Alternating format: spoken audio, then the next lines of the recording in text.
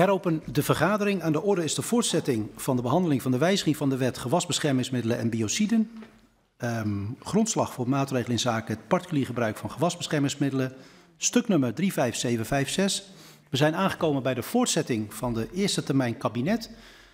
Plus de tweede termijn die daarna zal um, aanvangen. De staatssecretaris Mevrouw Heijn is aanwezig, de Kamerleden aanwezig. Van harte welkom de mensen op de publieke tribune en de mensen die het op afstand volgen. De staatssecretaris heeft al schriftelijk gereageerd, maar zal uh, het oppakken bij de beantwoording, inleiding plus de beantwoording van een aantal vragen. En daarna krijgen de Kamerleden de mogelijkheid voor interrupties, dan wel de tweede termijn. Het woord is aan de staatssecretaris. Ja, dank u wel, voorzitter. Uh, voordat ik uh, in de eerste termijn inga op de amendementen, wil ik graag nog een paar algemene woorden wijden aan het wetsvoorstel. We hebben er veel over gesproken en dat is goed, maar veel ging ook wel buiten het, de beoogde bedoeling van dit wetsvoorstel. En ik hecht er daarom wel aan om aan het begin van deze vergadering even terug te halen wat het doel van het wetsvoorstel is. En waar het wel betrekking op heeft en waar het ook geen betrekking op heeft. En ik wil daarom even ingaan op de achtergrond, ook op het waarom, uh, ook op de opbouw van het verbod en hoe eerdere moties van de Kamer hierin zijn meegenomen. Voor alle duidelijkheid, ik heb het hier over het verbod op het professioneel gebruik van gewasbeschermingsmiddelen buiten de landbouw. Dus dan moet u denken aan sportvelden, wegbermen, stoepen, plantsoenen, dat soort voorbeelden. Het is goed te beseffen dat we dat verbod al hebben sinds 2017. En zoals u weet, voorzitter, heeft de rechter geoordeeld dat de wettelijke grondslag onvoldoende was. En daardoor kwam het verbod officieel te vervallen. En met het huidige wetsvoorstel proberen we dat dus te herstellen. En dat is iets waar de Kamer en de motie uh, Bromet ook om heeft gevraagd. En daarmee wordt dus de bestaande succesvolle praktijk weer wettelijk verankerd. Ik doe wel nog even een stapje terug, want ik wil graag even terug naar de directe aanleiding voor het verbod. Er worden te veel gewasbeschermingsmiddelen aangetroffen in het oppervlaktewater dat verbruikt wordt voor het drinkwater. Voor 2017 werd ongeveer 1% van de gewasbeschermingsmiddelen gebruikt buiten de landbouw. Maar dat beperkte gebruik veroorzaakt wel een heel groot deel van de knelpunten voor de drinkwatervoorziening, tot wel enkele tientallen procenten. Dus het gaat toch echt wel om een flinke impact. Met name het uh, gebruik op verhardingen geeft veel directe emissie in het oppervlaktewater. En dat is zorgelijk. Zeker als we weten dat er goede niet-chemische alternatieven voor gewasbescherming ook al op de markt zijn. En die emissies en die knelpunten die zijn dus vermijdbaar. Jarenlang is er getrokken aan het vrijwillig verminderen van het gebruik van chemische gewasbeschermingsmiddelen buiten de landbouw, maar dat had niet genoeg succes. En daarom is er besloten om een verbod in te stellen. En de Kamer heeft daar destijds ook heel sterk op aangedrongen. En daarmee werden de randen van het speelveld voor alle betrokkenen helder.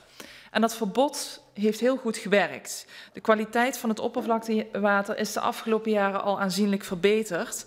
En heel veel professionele gebruikers zijn al overgestapt op niet-chemische mechanische maatregelen. Op uh, winkelstraten, sportterreinen en terreinen van Rijkswaterstaat worden geen um, gewasbeschermingsmiddelen meer gebruikt, maar bijvoorbeeld heet water, hete lucht of uh, borstelen tegen onkruid. Uit uh, CBS-cijfers van 2019 blijkt dat het professioneel gebruik van gewasbeschermingsmiddelen buiten de landbouw met ongeveer 82% is afgenomen ten opzichte van het gebruik in 2013. Dus het verbod dat in 2017 is ingegaan, heeft wel degelijk goed gewerkt.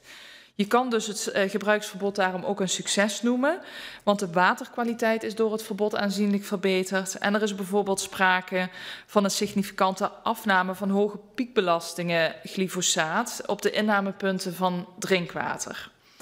En daarbij blijkt ook nog dat de kosten voor de onkruidbestrijding in de openbare ruimte juist zijn gedaald. En dan uh, toch nog even voor de duidelijkheid. Het beleid is en blijft primair gericht op adequate gewasbescherming. En daarbij hebben we een voorkeursvolgorde uh, op basis van IPM. En dat staat voor Integrated Pest Management. We willen eerst inzetten op preventie. Dat is altijd stap 1. Dus dat is dan bijvoorbeeld door aanpassing van bestaande bestrating, zodat er minder onkruid groeit. Um, geen stoepen aanleggen die nauwelijks worden gebruikt. En ook de introductie van natuurlijke vijanden. Dan is stap 2 het gebruik van niet-chemische maatregelen. En dat is dus bijvoorbeeld heet water, borstelen of schoffelen. En pas stap 3 is, als de eerste twee onvoldoende effectief zijn, dan mag je als laatste remedie chemische gewasbeschermingsmiddelen inzetten. En dan moet je dus wel denken aan hele serieuze dingen zoals de Japanse duizendknoop of specifieke schimmels uh, bij um, sportterreinen.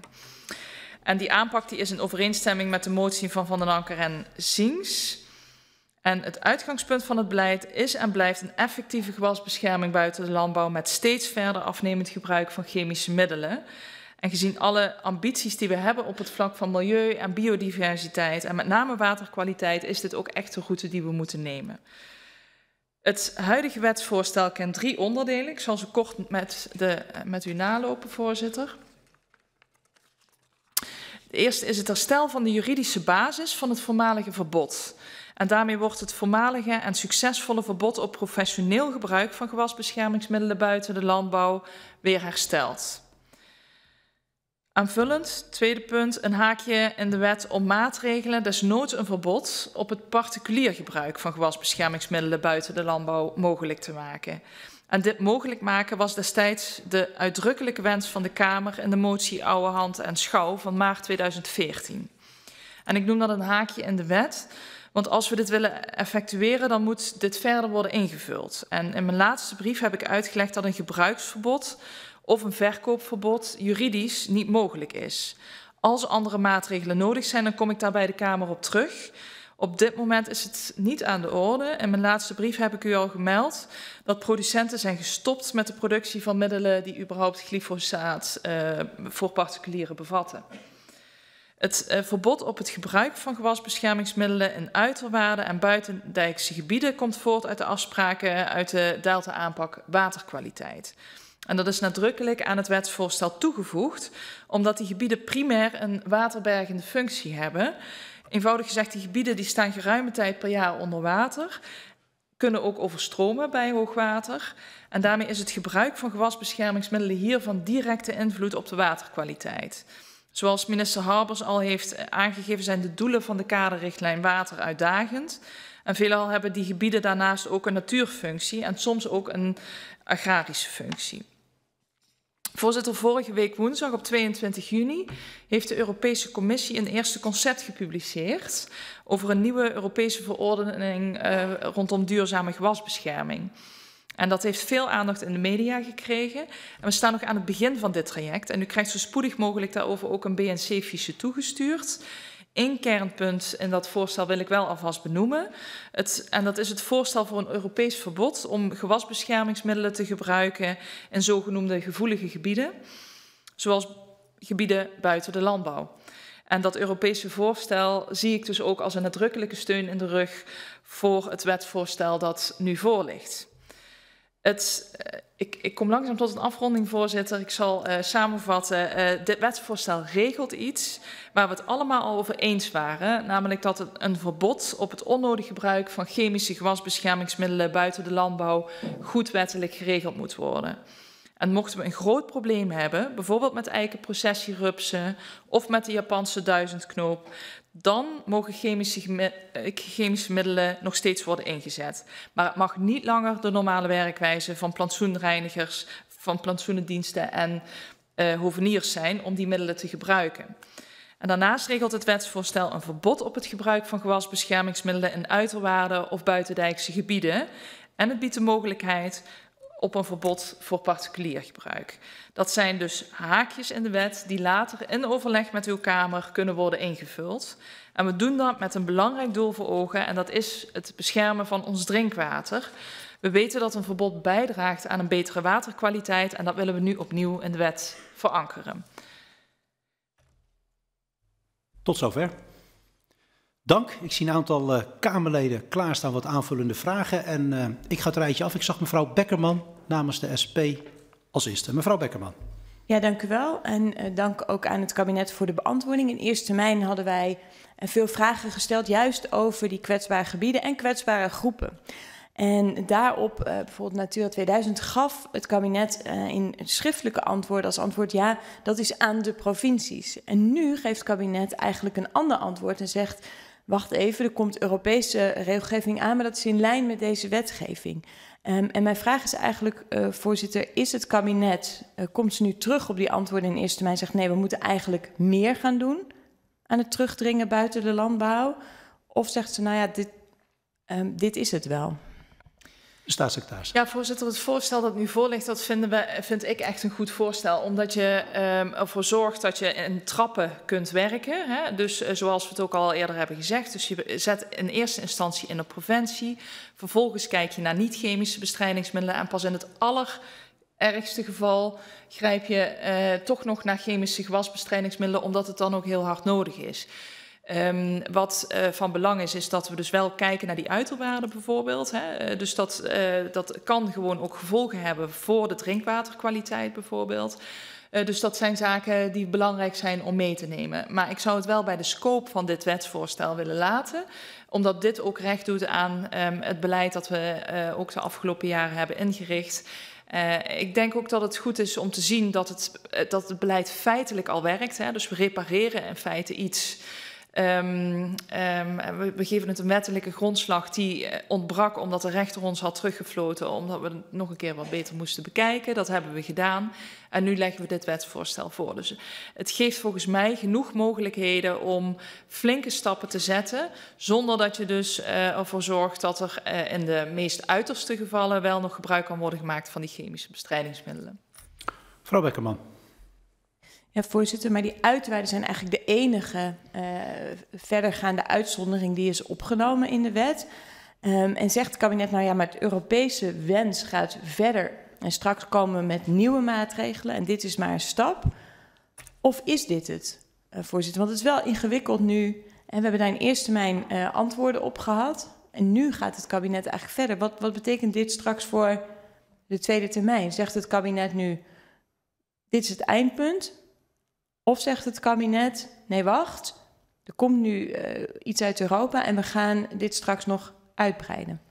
De staatssecretaris. Ja, voorzitter, als er uh, regelgeving komt uit Europa, dan zullen we dus altijd uh, uh, dat ook moeten overnemen als Nederland. Hè? Um, dus mocht dat verder gaan, dan zul, zullen we dat ook doen. Um, ik kan mij haast niet voorstellen dat Europa op dit moment echt ook zal verbieden dat je in, ge in geval van, ja, laten we maar zeggen, noodsituaties um, zou komen tot een, zeg maar, het niet gebruiken van chemische bestrijdingsmiddelen. Um, maar het lijkt mij wel heel erg uh, nuttig om sowieso met elkaar te blijven bekijken van doen we het goed genoeg. Over het algemeen is het zo dat als er wetgeving uit Europa komt, omdat het toch een gewogen gemiddelde is, Uh, dan zitten wij in Nederland meestal aan de ambitieuze kant. Hè. Je ziet ook dat als wij uh, zaken voorstellen, dat uh, kijk naar het duurzaam vervoer bijvoorbeeld. Wij wilden graag dat alle auto's vanaf 2030 elektrisch geproduceerd worden. In Europees verband zit het dan toch op 2035 als compromis. Ja. dus ik ga ervan uit dat wij ook hier weer vrij ambitieus zijn in vergelijking met een aantal andere landen. Tot slot, mevrouw Bekkerman. Nou, voorzitter, dat is natuurlijk maar de vraag. Um, want de kaderrichtlijn waterdoelen, um, daar is nog maar de vraag of we die uh, gaan halen. We hebben vorige week natuurlijk een uitgebreid debat gehad over de kant van de landbouw, waar daar uh, maatregelen worden genomen. En de vraag is nu, moeten we niet juist ook extra maatregelen nemen buiten de landbouw en in andere, uh, dicht bij andere uh, watergebieden? Want ja, dit, verhaal met dat we het altijd beter doen uh, dan Europa wil, uh, gaat bij die kaderrichtlijn niet op. En dat zit echt niet alleen bij de landbouw, dat zit juist ook hier. Daar moet het kabinet toch wel mee eens zijn. Ja, voorzitter. Ik denk wel dat het goed is om waterbeleid altijd in uh, Europees verband ook te bezien. Hè. Ik uh, woon zelf in Maastricht en als ze in België iets uh, in de Maas kieperen, dan komt het echt vervolgens gewoon Maastricht binnen via, de, via de Maas. Uh, dus het is net heel belangrijk dat je zorgt dat je kijkt hoe je ook andere landen kunt stimuleren om maatregelen te nemen. Neemt niet weg dat wij niet voor onze eigen verantwoordelijkheid moeten weglopen en ook ervoor moeten zorgen uh, dat uh, de kwaliteit van ons drinkwater niet onnodig onder druk komt te staan. En volgens mij borgen we dat met de wetgeving zoals die nu voorligt, of met de wetswijziging. Dan mevrouw Vestering namens Partij voor de Dieren. Dank u wel, voorzitter. Als u zo naar de staatssecretaris luistert, dan denk je dat het eigenlijk best wel heel erg goed gaat. En het voorstel dat nu voor ons ligt gaat over 1% van het gifgebruik in Nederland. 1%. En het is goed dat we dat gaan aanpakken. Maar dan hou je nog 99% over. En in de beantwoording van de vragen die we in de eerste termijn gesteld hebben, antwoordt de staatssecretaris dat zij het gebruik van landbouwgif binnen en buiten de landbouw niet gaat verbieden in gebieden die beschermd worden onder de kaderrichtlijn water. En gelukkig is er vanuit Europa al een richtlijn die zegt dat dat wel degelijk verboden moet worden. Waarom verbiedt de staatssecretaris dat niet? En waarom zorgt de staatssecretaris er niet voor dat Nederland, die het echt niet goed doet als het om landbouwgif gaat, in ieder geval zich houdt aan die Europese richtlijn? De staatssecretaris. Ja, voorzitter, uh, dit is ook de portefeuille van uh, mijn collega hè, die over landbouw uh, gaat. Ik heb wel hem aangeboden om ook mee te denken in het debat daarover. Um, uh, maar dat is, dat, daar gaat dit wetsvoorstel simpelweg uh, ook niet over. Uh, dus ik zou ook willen vragen om dat soort vragen ook vooral te bespreken in het verband um, met collega Staghouwer. Volgens mij heeft de commissie dat ook al wel eerder gedaan. Mevrouw Vestering. Ja, voorzitter, dat is wel heel erg makkelijk. Deze minister is verantwoordelijk voor milieu en ze is verantwoordelijk voor het gebruik van landbouwgif buiten de landbouw. En de minister antwoordt dat zij het gebruik van landbouwgif ook buiten de landbouw niet gaat verbieden in deze specifieke regio's waar je dus beschermd grondwatergebieden hebt. Terwijl de Europese richtlijn zegt dat je het wel degelijk moet verbieden. Waarom verbiedt deze staatssecretaris dat niet? De staatssecretaris. Ja, voorzitter. Um, ik zou graag willen vragen om uh, het voorstel te behandelen zoals het nu voorligt. Het past binnen Europese wet en regelgeving. Um, mocht er een herziening zijn van de Europese regelgeving die verder strekt, dan zullen wij daar met elkaar weer een gesprek over voeren. Uh, maar ik denk dat dit, dit um, uh, wetsvoorstel nu recht doet aan een, uh, ook een simpele reparatie van het beleid dat al efficiënt is gebleken de afgelopen jaren. Hoewel we natuurlijk altijd moeten blijven kijken waar het beter kan. Dat ben ik op zich ook wel natuurlijk met de Kamer eens. Ja, Mevrouw Vestering, tot slot. Ja, hier heb ik natuurlijk echt helemaal niets aan. Blijven verwijzen mm -hmm. naar dit wetsvoorstel, terwijl de minister zelf antwoordt dat ze zich dus niet houdt aan die richtlijn. Ik wil graag weten waarom de minister dat niet doet, of de staatssecretaris, excuus, dat niet doet. En als het dan niet lukt in dit, uh, dit debat, dan wil ik het graag schriftelijk ontvangen. Waarom ze zich niet aan die Europese richtlijnen houdt. En als er dan verwezen wordt naar eventuele risicobeoordelingen, dat ook de Kamer deze risicobeoordeling mag ontvangen. Ja, voorzitter. Ik wil best wel uh, schriftelijk reageren. Maar ik ben het ook niet eens met mevrouw Vestering dat we ons niet houden aan de afspraken zoals die gelden. Ik denk wel dat het van belang is dat we steeds blijven kijken hoe we um, uh, zaken kunnen verbeteren. Uh, dat is gewoon heel erg van belang. kijk, boeren hebben er zelf bijvoorbeeld, en voor de rest wil ik niet te veel ingaan daarop, omdat het echt buiten de orde van de vergadering is. Maar hebben er ook zelf een belang bij om zorgvuldig met hun land om te gaan. Om het zo, zo ja, goed mogelijk uh, te, ja, te gebruiken, zeg maar. Um, dus ik denk dan uh, dat we steeds ook samen moeten zoeken naar verdere oplossingen om uh, ja, zo goed mogelijk um, um, zeg maar ook gewasbescherming ook in die sector toe te staan. Maar ik wil niet te veel ook treden in de verantwoordelijkheden ook die collega's van mij daarvan hebben, die inhoudelijk ook weten wat daarvan de consequenties kunnen zijn. Dank. U geeft aan wel een brief te willen sturen. Op welke ja, ik wil termijn? wel reageren. Um, nou, dat kan binnen nu en twee weken. Prima. Ik zie dat mevrouw Vestering tevreden is. Dan kijk ik even naar meneer Bisschop eerst. Of mevrouw... Ja, meneer Bisschop, namens de SGP. Voorzitter, dank u wel. Um, dank aan de staatssecretaris voor de uh, beantwoording. Ik denk dat de, de uitgezette lijn van preventie, natuurlijke bestrijdingsmiddelen, biologische en in geval van nood ziekte, zeg maar, plagen. En, en dan uh, heb je de, uh, de medicijnkast even nodig. Dat dat een verstandig is, steunen we ook. Uh, ik heb nog wel, de staatssecretaris refereerde aan de motie Anker Ziens.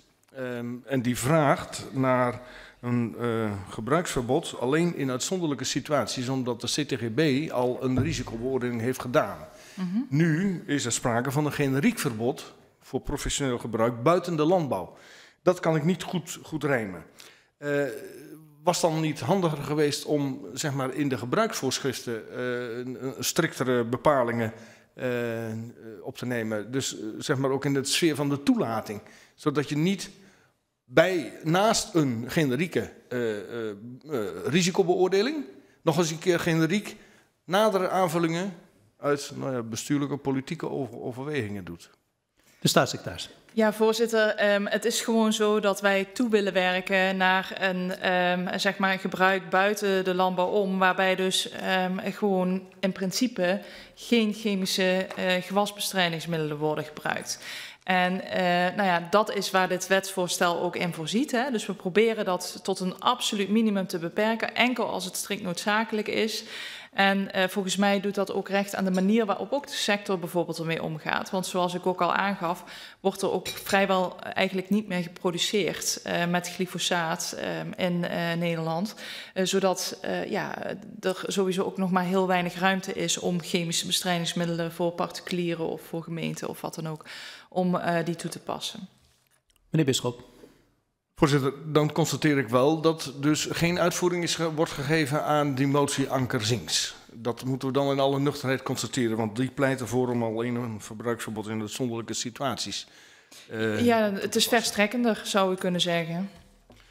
Uh, is het met u eens? Het lijkt me dat de politieke vrienden van deze Kamer, uh, voormalige de, Kamerleden, die zouden... Uh, dat, dat, begint niet op een vraag te lijken, meneer Bisschop. Wederom, dit was meer een vriendelijke constatering. Dank Mag ik nog één vraag eraan toevoegen? En dat betreft het gebruik in de uiterwaarden en de buitendijkse gebieden. Um, ik zou graag inzicht willen hebben, uh, omdat zeg maar, de, de, de belasting van de waterpunten... Uh, die, uh, die, die daalt sterk. Hè? Uh, ik zou graag willen weten wat uh, de invloed is van deze gebieden op de verontreiniging van watertappunten. kan ik kan toezeggen dat daar schriftelijk op wordt teruggekomen. Fantastisch, dank u wel. Graag gedaan namens de staatssecretaris. mevrouw Bromet namens GroenLinks. Ja, dank u wel, voorzitter. Het mooie eigenlijk van zo'n uh, reparatiewet is dat je ook terug kan kijken op de effecten van uh, uh, veranderd gebruik van landbouwgif op verhardingen. En ik vind eigenlijk dat de staatssecretaris heel mooi verwoordt wat die positieve effecten zijn. Dus het is en beter voor de kwaliteit voor het drinkwater. Het is goedkoper voor gemeentes. Het is eigenlijk aan alle kanten een win-win verhaal. Behalve dan voor de industrie die minder van het gif kan verkopen. En uh, wij, hebben, wij zitten midden in een debat met de minister van Landbouw, de heer Staghouwer, over het gebruik van gif op grasland. Dat is eigenlijk vergelijkbaar met een gebruik op verhardingen. En de, de Kamer wil al twee jaar dat daar een uh, verbod op komt.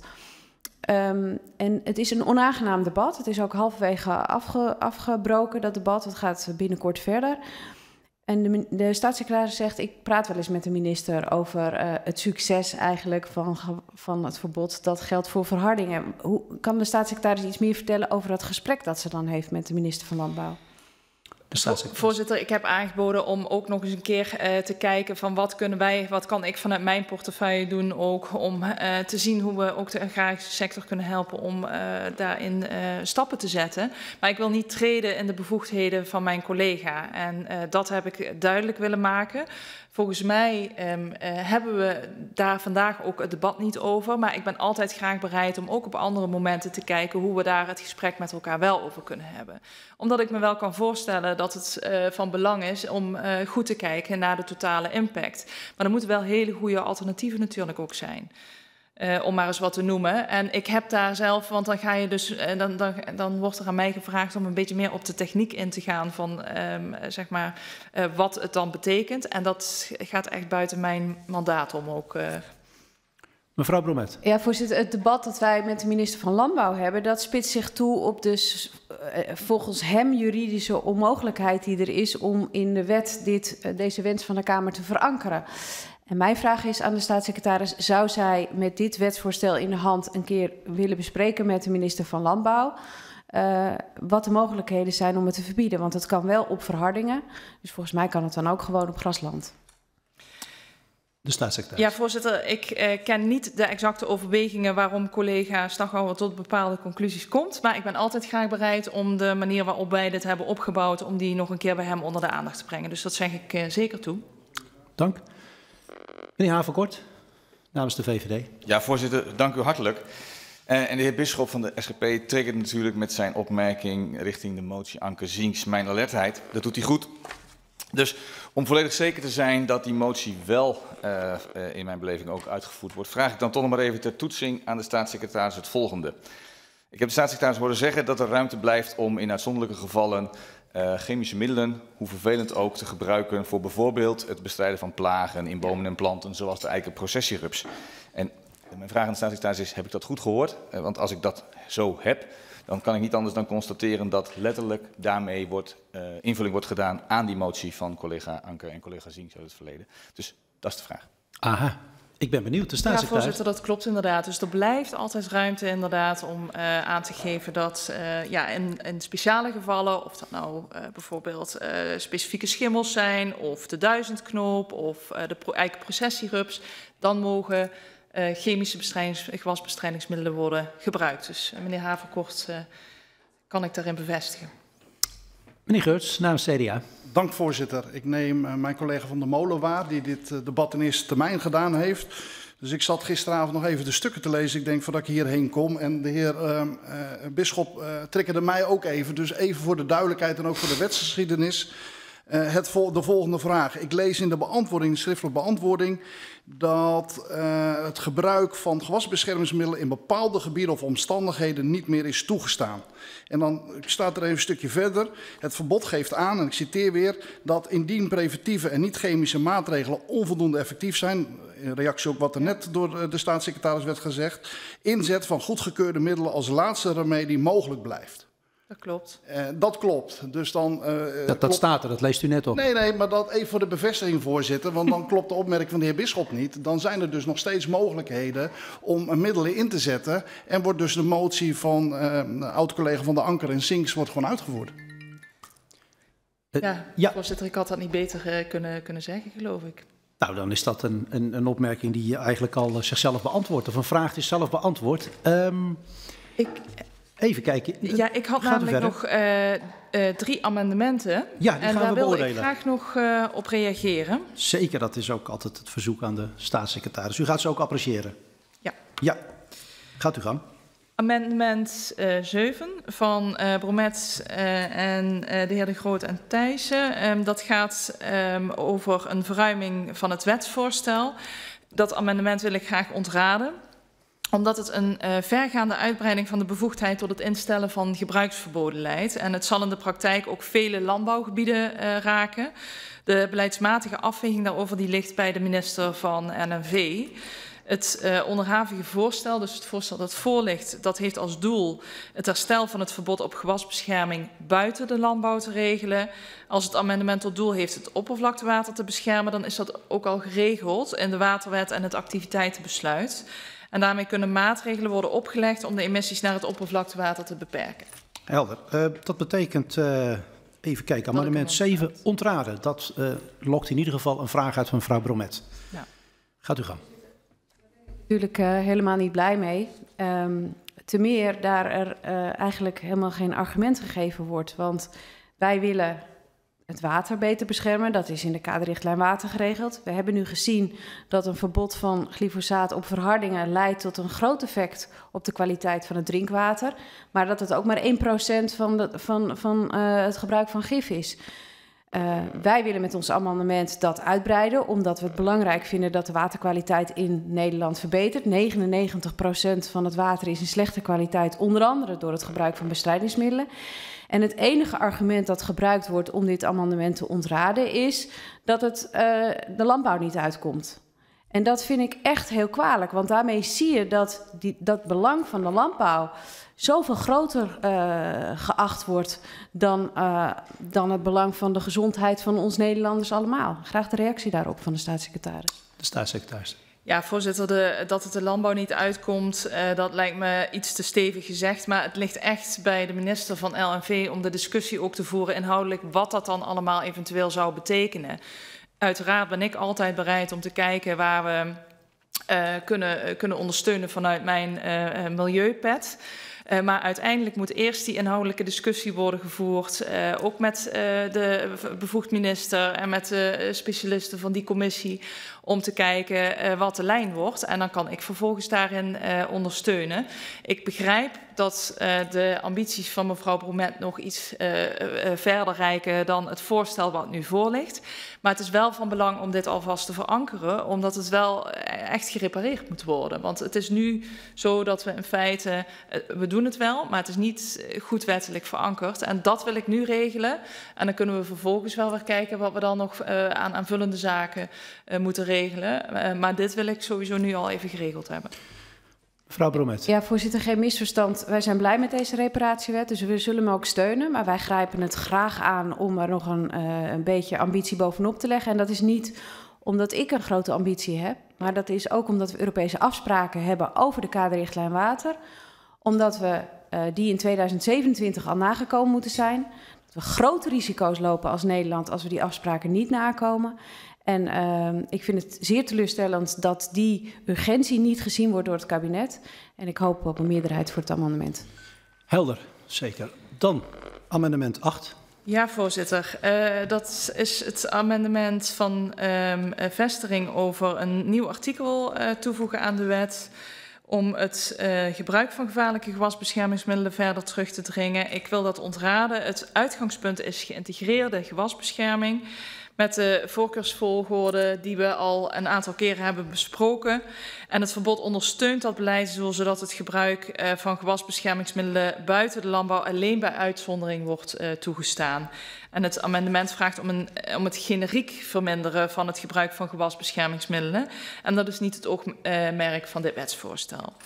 Amendement 8 ontraden. Dan was er nog een uh, amendement van uh, Bisschop en Van der Plas over het gebruik van gewasbeschermingsmiddelen die uitsluitend basisstoffen en werkzame stoffen met een laag risico bevatten, om die niet onder het verbod te laten vallen. Uh, dat wil ik ontraden. Het uitgangspunt is nogmaals die geïntegreerde gewasbescherming met de voorkeur, met de volgorde zoals ik hem heb genoemd. Um, en uh, voor gewasbescherming buiten de landbouw zijn over het algemeen voldoende praktisch toepasbare uh, preventieve en niet-chemische maatregelen beschikbaar. Dus dan zou je die uitzondering eigenlijk ook niet nodig hebben. Um, een uitzondering voor bepaalde soorten gewasbeschermingsmiddelen uh, dient dan ook geen beheertechnisch doel. En het past ook niet in de beginselen van de geïntegreerde gewasbescherming. En bovendien heeft het RIVM ook al in 2015 geconcludeerd dat een overstap naar gewasbeschermingsmiddelen met een laag risico bij grootschalig gebruik juist wel weer bezwaarlijk kan zijn voor de waterkwaliteit. Dus dat is een aanvullende reden om de motie te ontraden. Dat was het, voorzitter. Amendement 10 ook ontraden. Ja. Dan kijk ik nog even rond en ik concludeer dat we aan het einde zijn gekomen van de eerste termijn van de zijde van het kabinet. Dan gaan we naar de tweede termijn. Ik geef graag het woord aan mevrouw Van der Plas.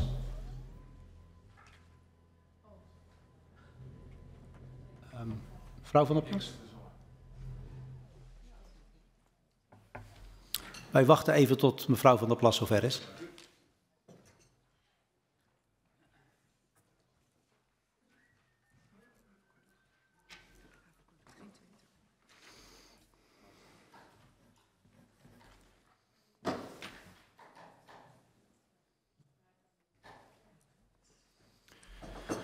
Mevrouw van der Plas. Oh. Voorzitter, het is een beetje een hectisch leven op dit moment. Zeker, alle begrip. en ik heb um, de printjes nog niet klaar, dus ik uh, wil graag uh, de tweede spreker eigenlijk dan verzoeken om dan uh, de tweede termijn in te gaan. Zeker, wij kunnen u verder En dan, op, als ik als klaar u... ben, dan ja. kom ik eraan. Zeker. Ja? Geen, ja hoor, we zijn hartstikke soepel. Het is een goed gebruik om elkaar ook die ruimte te geven. Zeker als er hectiek is en natuurlijk collega's ook met een kleine fractie zitten. in ieder geval in de praktijk, niet in de peiling. Even kijken, dan gaan we naar mevrouw Vestering, Partij voor de Dieren.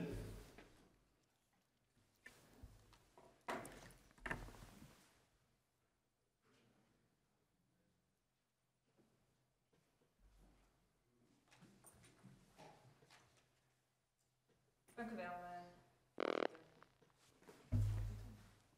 Ja, dank u wel, voorzitter.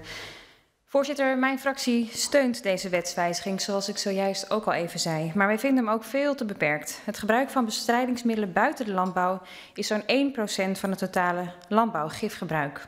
En ik heb een amendement ingediend met concrete doelen om het gebruik van de meest gevaarlijke landbouwgiffen te verminderen. Het gaat om stoffen waarvan bekend is dat ze zeer giftig zijn, moeilijk biologisch afbreekbaar, kankerverwekkend, schadelijk voor de voortplanting of hormoonverstorend. Of stoffen die zich ophopen in de voedselketen of die het DNA van mensen kunnen beschadigen. En het vastleggen van reductiedoelen in de wet is echt nodig, want met zachte beloftes gaat het gifgebruik gewoon niet omlaag. En in 2020 is de afzet van landbouwgif namelijk gewoon toegenomen. Alle vrijwillige afspraken ten spijt. Dus ook de reactie van de staatssecretaris zojuist. Het helpt gewoon niet. We komen geen klap verder. Voorzitter, we hebben binnenkort een debat over het gebruik van landbouwgif ook binnen de landbouw. En daar zullen we natuurlijk uitgebreid hier verder op ingaan. Voorzitter de Kamer. Gehoord de beraadslaging en nog een motie. Constaterende dat er volgens de richtlijn duurzaam gebruik van pesticiden geen bestrijdingsmiddelen gebruikt mogen worden in gebieden die beschermd zijn onder de kaderrichtlijn water en in grondwaterbeschermingsgebieden. Constaterende dat zowel de doelen van de kaderrichtlijn water als die voor de drinkwaterkwaliteit in Nederland niet gehaald worden, onder andere door de verontreiniging door pesticiden, verzoekt de regering het gebruik van pesticiden in gebieden die beschermd zijn onder de kaderrichtlijn water en in grondwaterbeschermingsgebieden te verbieden, zowel binnen als buiten de landbouw en gaat over tot de orde van de dag. Dank mevrouw Vestering. Dan zijn we aangekomen bij mevrouw Bromet namens de fractie van GroenLinks.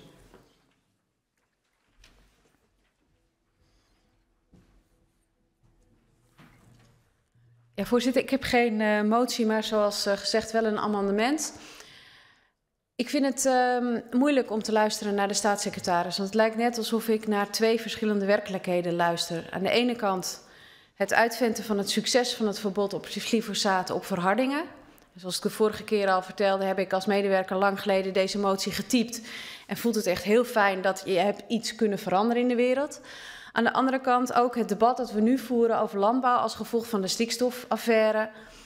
Wetende dat er een nieuwe affaire dreigt en dat is de waterkwaliteitsaffaire. En ik vind echt dat het belang van de landbouw uh, nog veel te veel voorrang krijgt als het gaat over uh, deze problematiek. En ik uh, hoop dat de staatssecretaris een goed gesprek heeft met, met haar collega van Landbouw.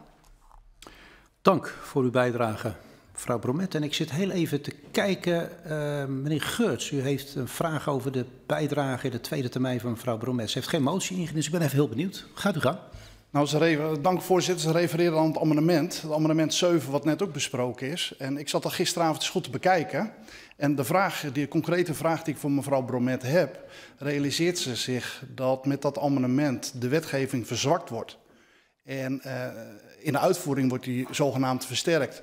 Maar ik verwacht dat daar een juridische uh, gang naar de rechter over gaat komen. Omdat uh, terreineigenaren uh, onverwachts, zonder een vergoeding, niet meer kunnen beschikken over hun eigendom zoals ze dat in het verleden gewend waren. Ja. dus heeft mevrouw Bromet door dat ze met haar amendement extra rechtsgang, waar de hele wetgeving weer mee platgelegd kan worden. Heeft ze dat door dat dat het effect kan zijn? En ik acht de kans zeer groot namelijk. Dat is in het geval dat het amendement wordt aangenomen. Mevrouw ja, voorzitter, dat is ook wel exemplarisch voor hoe er altijd gediscussieerd wordt over dit dossier. Namelijk dat iets niet juridisch houdbaar zou zijn of dat de rechter het wel zou verwerpen. We hebben gezien in de stikstofaffaire, daar werd ook tot aan het eind gezegd... nou, dat houdt het niet droog bij de rechter. En eh, zie de puinhoop waar we Nederland nu in gestort zien... Uh, de discussies die we hebben met de heer Staghouwer over uh, het verbod op het bespuiten van graslanden gaat ook elke keer over de juridische consequenties.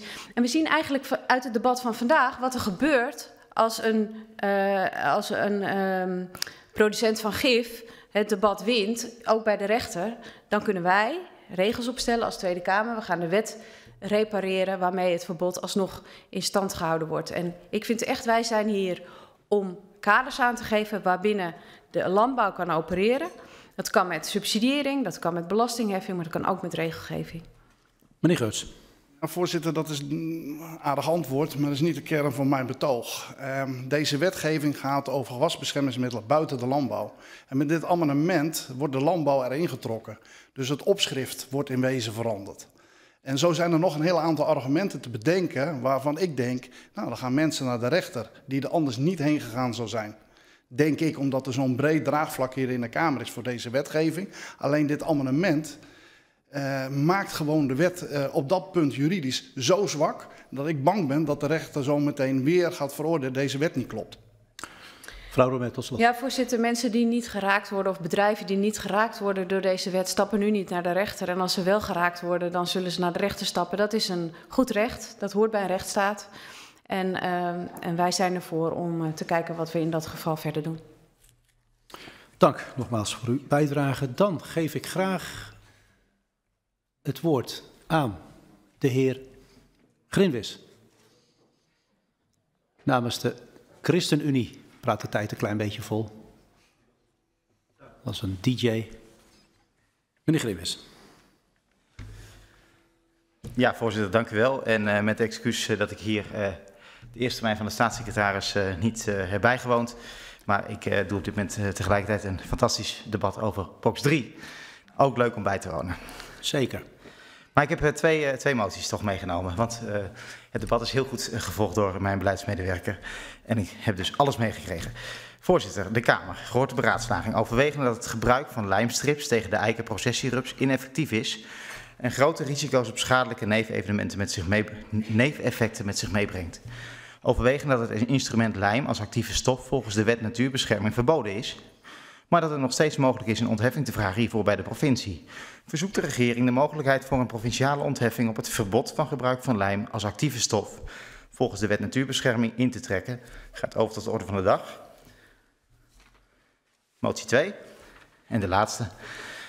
De Kamer, gehoord beraadslaging, overwegende dat bij een verbod op particulier gebruik van gewasbeschermingsmiddelen het risico op niet toegelaten gebruik van chloor en azijn als onkruidbestrijding toeneemt. Overwegende dat een campagne is gevoerd tegen het particulier gebruik van glyfosaat in samenwerking met tuincentra en dat deze zeer effectief was.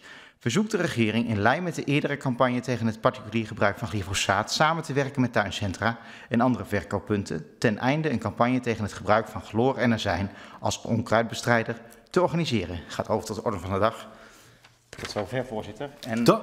Dank. Uh, dank ook nog langs deze weg voor de schriftelijke beantwoording en vast ook de uh, goede beantwoording uh, hier in deze zaal. Dank, meneer Grimmers. Het is knap dat u gewoon twee debatten door elkaar voert. Blijft u nog heel even staan. Ik zie dat mevrouw Van der Plas voor u een vraag heeft. Ja, korte vraag. Ik uh, wil graag wel meetekenen met deze moties uh, als uh, de heer Grinwins dat akkoord vindt. Ja, van harte welkom. Van harte welkom, mevrouw Van der Plas. En ja, sorry, ik heb geen tijd gehad om handtekeningen te verzamelen. Dus twee is altijd gezelliger dan één. Dus welkom. Prima. Goed zo. Ja. Um, mevrouw Vestering. Ja, dank u wel, voorzitter. En ik hoop dat u misschien, uh, meneer Grinwis, hiermee ook een, uh, een ademmomentje gunt om op adem te komen van de twee debatten tegelijkertijd. En ik wilde graag vragen waarom de ChristenUnie niet kiest voor een ecologische aanpak als het gaat om de eikenprocessierups. Meneer Grinwis.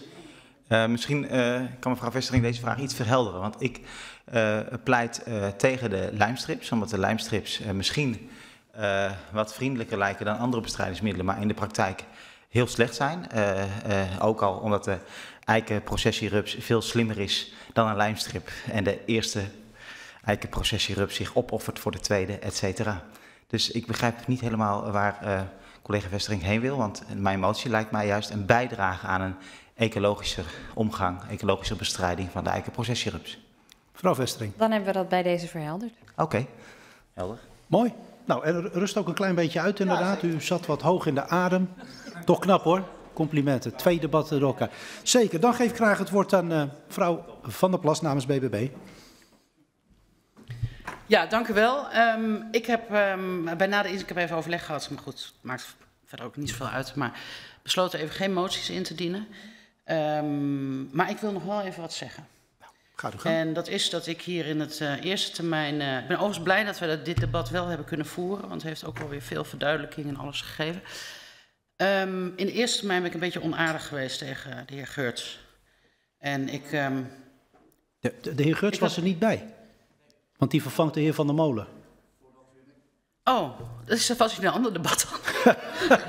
u was niet, ja, dat kan. Dus niet tijdens de behandeling van deze wet, maar in een. In een nou, u mag altijd, ik vind dat wel mooi van u. Klopt. Ja. Nee, uit, oh, sorry. Ja, we hebben een goede persoon. Helemaal in de war ja, deze week. Het was in een ander debat, klopt, was uh, over de staatshouders. Uh, maar mag ik dan mijn twee minuten dan toch gebruiken om daar nog wat over te zeggen? Dat mag u zeker. Er gebeuren hier echt hele rare dingen in de Kamer af en toe. Ja, we hebben een goede persoon, maar wel bij het, het is niet het goede debat, maar wel goede een goede persoon. Ja. ja. Dus in dat debat over de statusouders was ik een beetje onaardig tegen de heer uh, Geurts. Toen heb ik hem, uh, ik heb hem uh, betiteld als, uh, daar komt hij een beetje als dat vriendelijke meneertje. En soms flap ik er wel gewoon dingen uit. En dat was later terugkijken denk ik van, ja, Van de Plas, doe dat nou niet, want je wil dat ook niet dat anderen dat bij jou doen en dan ga je het zelf doen. Maar ik was gewoon een beetje geïrriteerd en dan kan het gebeuren dat, dat, uh, dat ik zoiets zeg. Maar ik ben ook niet uh, te laf om daarop terug te komen en aan de heer Geurts um, mijn excuses aan te bieden, want het was inderdaad wel een beetje denigrerend en zo was dat niet bedoeld.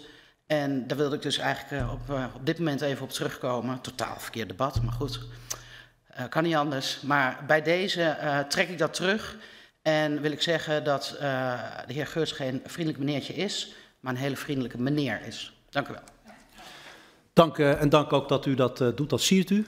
Meneer Geurts, nog kort. Voorzitter, als op deze manier, in deze gelegenheid, op deze manier excuus wordt aangeboden, dan wil ik ook tegen mevrouw Van der Plas zeggen dat ik die aanvaard. Dank. Nou, Mooi. hartstikke goed. Is dat uit de wereld? Even kijken, dan geef ik graag het woord aan de heer Geurs. nee, u bent, u, ja, u, u, u, ja, u neemt in, uh, ja, nee, u uh, geeft aan geen gebruik te maken van uw tweede termijn. De heer De Groot namens T66 voor zijn tweede termijn.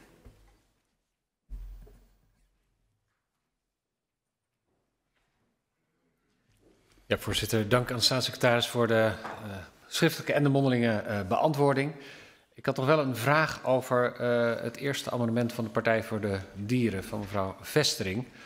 Uh, dat dat amendement eigenlijk precies doet wat ook uh, de Europese wetgeving voorschrijft, namelijk het stellen van tussendoelen als het gaat om het terugdringen van het gebruik van gewasbeschermingsmiddelen. Um, en zelfs nu in de Green Deal een halvering richting 2030. Uh, dus het lijkt mij eigenlijk een, een, uh, een heel zinnig amendement. Te meer, voorzitter, dat uh, geïntegreerde gewasbescherming doorgaans wordt gehanteerd in een vrijwillig kader. Er worden afspraken gemaakt, maar die leiden niet tot een terug, daadwerkelijk terugdringen. en als je daar de minister of de regering op aanspreekt, dan wordt gezegd: ja, ik heb daar niet de wettelijke middelen voor, ik moet het met afspraken doen.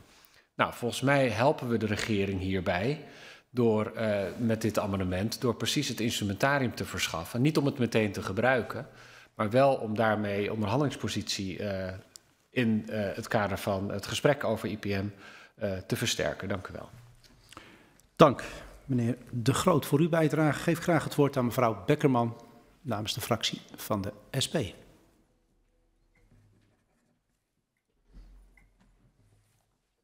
Ja, dank u wel. Goedemiddag. Um, wij wilden nog twee moties indienen uh, op punten waar we ook in eerste termijn een uh, punt van hebben gemaakt. Nee, vooral de eerste motie.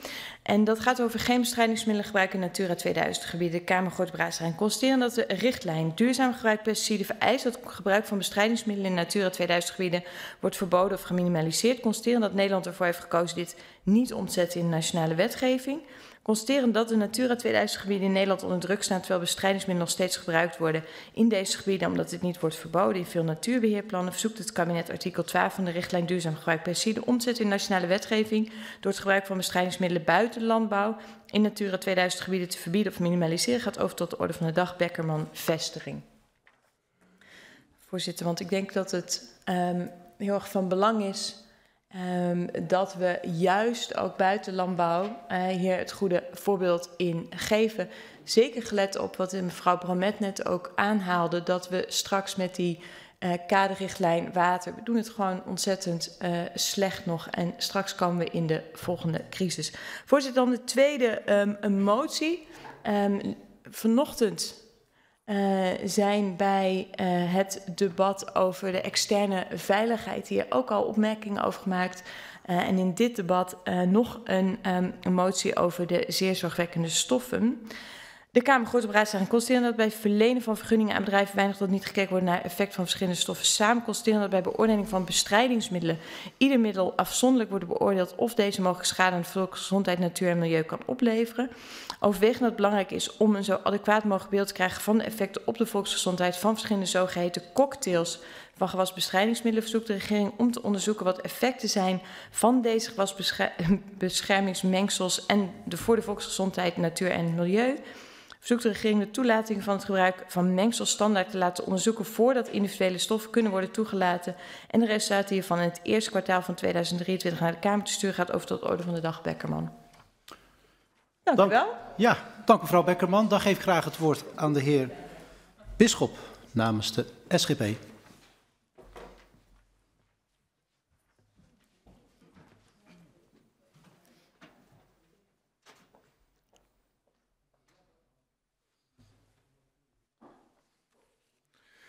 Voorzitter, toen ik zojuist collega van der Plas hier zag staan en haar uh, excuses hoorde maken, bedacht ik van, weet je wat, uh, ik ga de tweede termijn vooral uh, gebruiken om haar te complimenteren en dan te refereren aan een van de illustere voorgangers van de heer Geurts, Abraham Kuiper, die ooit hier, toen hij eens een keer ergens figuurlijk uit de bocht was gevlogen, uh, zichzelf complimenteerde, en hij maakte zijn excuses, en zichzelf complimenteerde met de woorden: Het boetekleed ontsiert den man niet. En ik wilde ervan maken: Het boetekleed ontsiert de vrouw niet, maar ik heb het gewoon achterwege gelaten. Dus ik doe dat niet.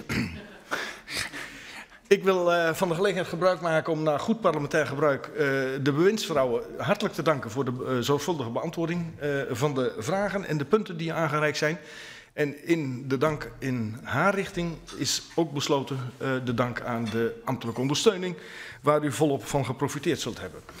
U snapt, uh, voorzitter, dat uh, de SGP teleurgesteld is over de appreciatie van dat mooie amendement wat we hebben ingediend. Een amendement wat naadloos aansluit bij het betoog van de staatssecretaris.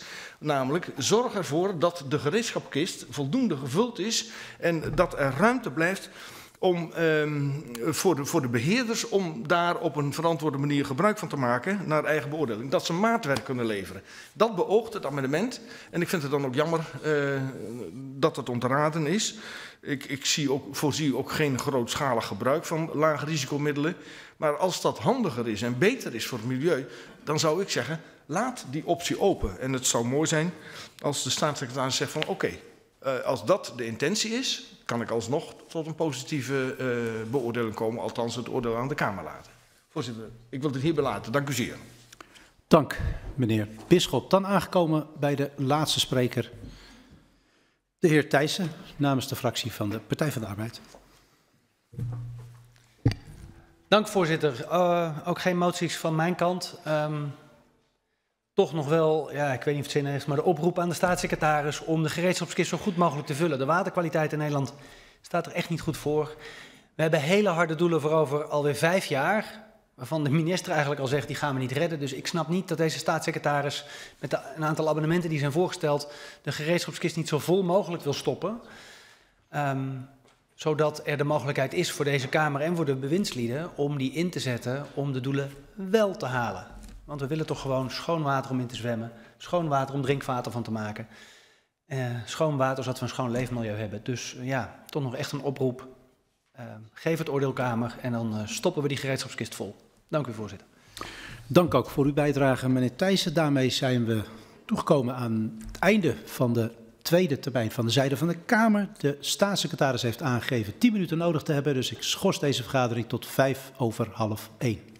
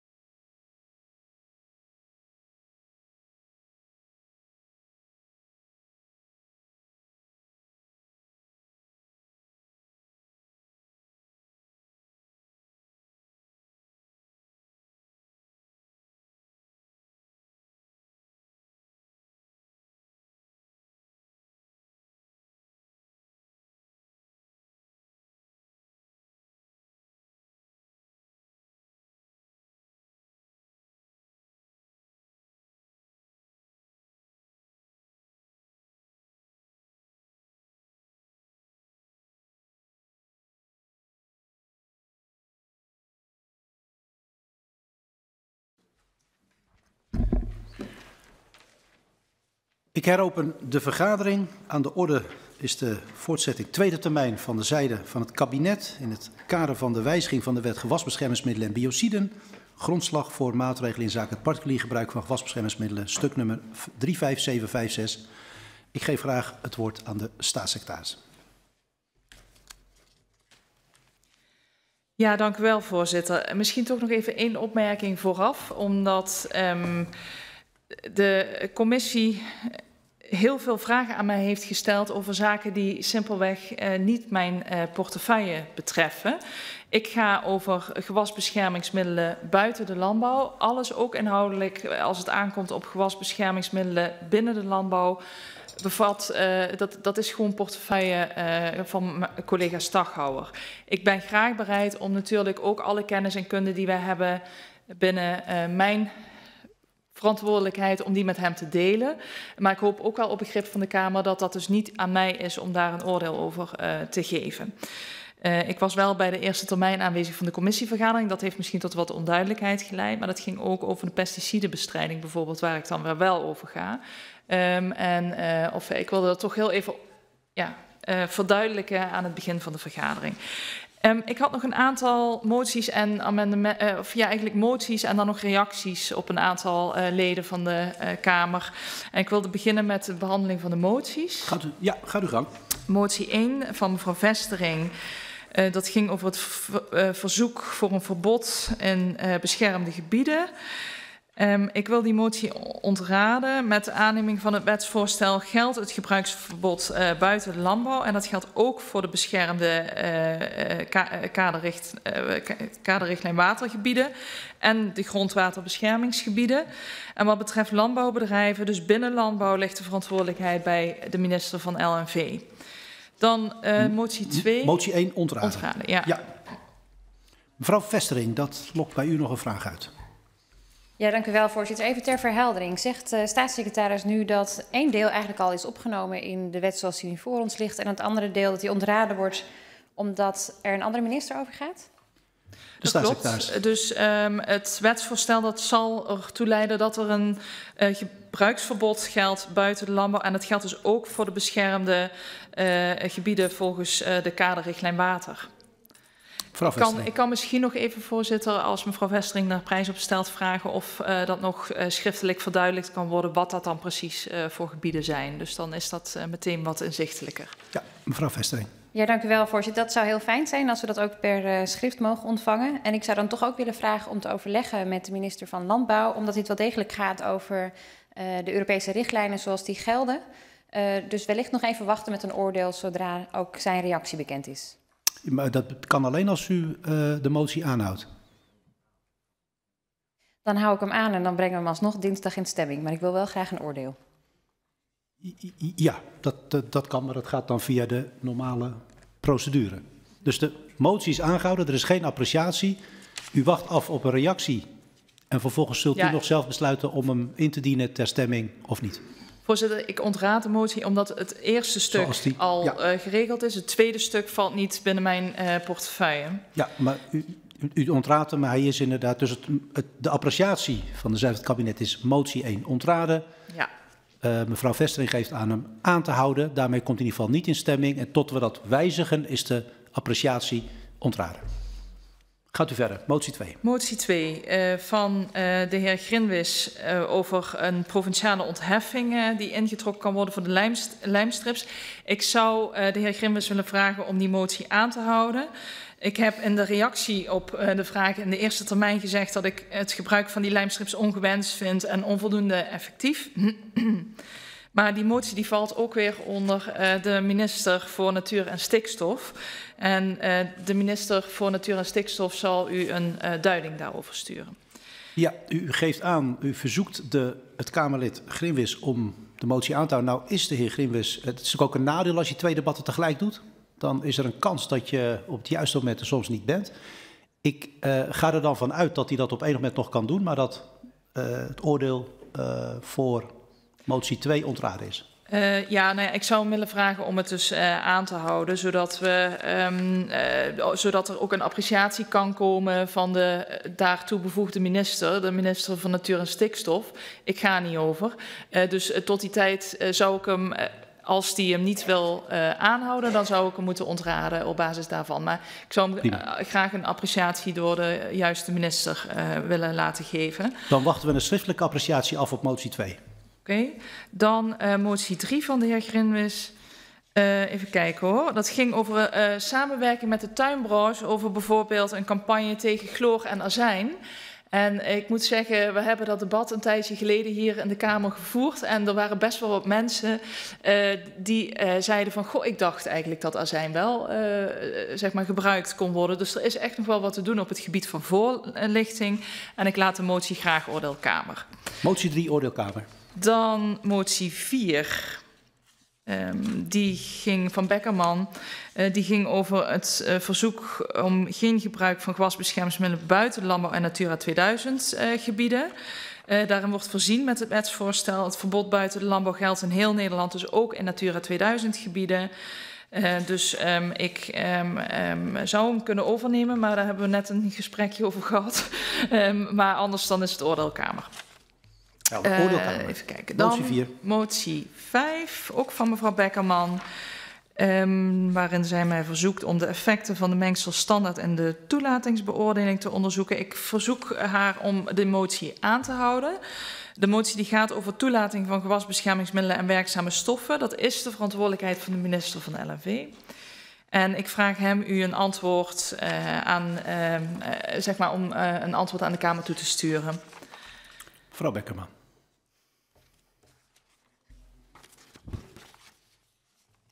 Ja, voorzitter, uh, dat snap ik op zich. Maar dit gaat natuurlijk wel heel specifiek ook over zeer zorgwekkende stoffen. En ik zou het kabinet gewoon willen vragen om een appreciatie uh, te sturen op deze uh, motie. En dat kan volgens mij voor de stemmingen. Dan wachten we een schriftelijke appreciatie af op deze motie. Of wilt u hem nu al geven? Ja, voorzitter. Ik, dus dan dus komt er daar, daar heb je het weer. Daar is dus ook weer een andere collega aan zet. Uh, dus ja. uh, daar zal dan een schriftelijke appreciatie van die Helder. motie komen, ja. zeker. Dat was motie 5. De heer Ruts. Ja, voorzitter, even één verhelderende vraag met betrekking tot motie 4. De staatssecretaris gaf aan uh, eigenlijk overnemen. Want wat nu voor ligt in de wet is dit al. Uh, maar dan is het toch gewoon overbodig. Want als wij nu deze aannemen, wat gaat de staatssecretaris dan doen? De staatssecretaris. Um, ja, voorzitter, ik ben het eigenlijk met u eens. Uh, het is uh, zo dat uh, behalve in het particuliere gebruik um, het verbod sowieso al geldt. Um, maar goed, ik, ja, ik laat het uiteindelijk aan, aan mevrouw Beckerman wat ze met de motie doet. maar in principe voeren we hem al uit. Dus u zou inderdaad kunnen zeggen, zoals meneer Geurt zegt, dat hij in die zin overbodig is. Uh, maar ik begrijp het signaal. Uh, laten we me dan zo zeggen. Da dan is het inderdaad aan de indiener uh, zeer zeker. mevrouw Beckerman in dit geval. Um, en dan is het oordeel toch nog... Of dan is het appreciatie oordeelkamer. Mevrouw Beckerman gaat daarover. Volgens mij heeft ze u goed gehoord in het kader ook van niet onnodig stemmen. En, en, ze zal daar haar eigen afweging in maken. Dat was ook motie 4 waar de heer Gus nog vragen over had. Motie 5 hadden we ook gehad. Ik had nog een paar vragen. Dan heeft, ja, gaat u gang. Ja. Ja, de heer Bisschop die vroeg, die vroeg aan mij of ik eh, toch niet het amendement nummer 10 eh, oordeelkamer zou willen geven. En ja, het antwoord blijft toch nee, want het uitgangspunt blijft uh, dat we aan integrated uh, pest management willen doen, op zijn goed Nederlands. En dat kan alleen als er uh, preventief en niet chemisch, zeg maar, als dat niet werkt. En dan pas stappen we over op chemisch. En ik wil die volgorde ook niet doorbreken. Dan had meneer Thijssen nog een vraag over de, eigenlijk meer een ja, opmerking zou ik willen zeggen, hè, van gebruikt u de gereedschapskist wel goed genoeg? Uh, we hebben zo'n uitdagingen op het gebied van uh, de waterkwaliteit. Ja, ook hiervoor is wel ook weer voor een heel groot deel mijn collega Harbers uh, aanzet, want die gaat weer over waterkwaliteit. en het realiseren van de doelen in het kader en de kaderrichtlijn water, dat is onderdeel van het uitvoeringsprogramma Toekomstvisie Gewasbescherming 2030. En dat uitvoeringsprogramma dat voorziet in een groot aantal acties. En eerste verantwoordelijke is dus uh, uh, de minister NNV. Uh, INW is er wel ook bij betrokken. Maar ook daarvoor geldt dat dat wel weer bij um, uh, LNV ligt dan voor een groot deel. Uiteraard snap ik wel de oproep uh, die door de heer Thijs wordt uh, gedaan. En ik weet dat wij vanuit INW in elk geval, ook mijn collega Harbers, is vanuit watermanagement heel nadrukkelijk ook aan het kijken uh, um, wat er allemaal mogelijk is om aanvullende stappen te nemen. Heeft ook veel contact met collega's in bijvoorbeeld België en de industriegebieden daar, omdat daar nog wel eens behoorlijk wat rotzooi in het water terechtkomt, wat dan vervolgens naar Nederland komt. En daar wordt ook strenger gehandhaafd nu, dus het heeft ook wel best wel effect. Nog één laatste, voorzitter. Dat was de heer De Groot over uh, de uitbreiding van de gebieden. Als het gaat om oppervlaktewater te beschermen, dan kan dat nu al op basis van de waterwet en het activiteitenbesluit. En zoals ik aangaf in mijn eerste termijn, uh, het nu zo substantieel uh, uitbreiden als wordt voorgesteld, dat gaat te ver op dit moment. En het behoort namelijk tot de bevoegdheid van de minister van NRV. Want het gaat in hoofdzaak over het gebruik binnen de landbouw en dat valt buiten mijn portefeuille. Volgens mij heb ik dan iedereen beantwoord, voorzitter. Ik kijk nog rond voor een laatste check. Ik uh, concludeer dat dat geval is. Daarmee zijn wij aan het einde gekomen van de behandeling van de wet wijziging van de wet gewasbeschermingsmiddelen en biociden. Ik dank de mensen thuis, mensen hier in de zaal, de Kamerleden en natuurlijk de staatssecretaris van Infrastructuur en Waterstaat. En ik schors de vergadering tot tien voor twee.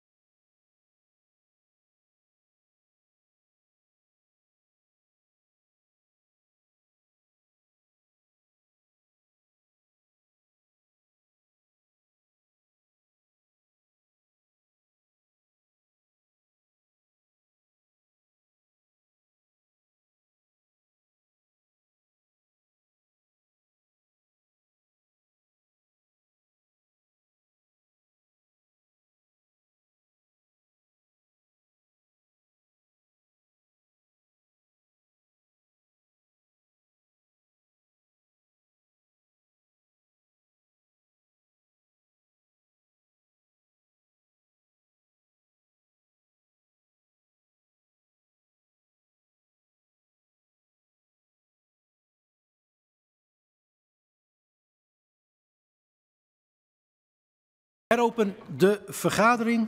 Aan de orde is het twee minuten debat Nationaal Programma Onderwijs, primair en voortgezet onderwijs, als opvolging van het commissiedebat van 24 mei jongstleden. Ik heet de mensen thuis die het op afstand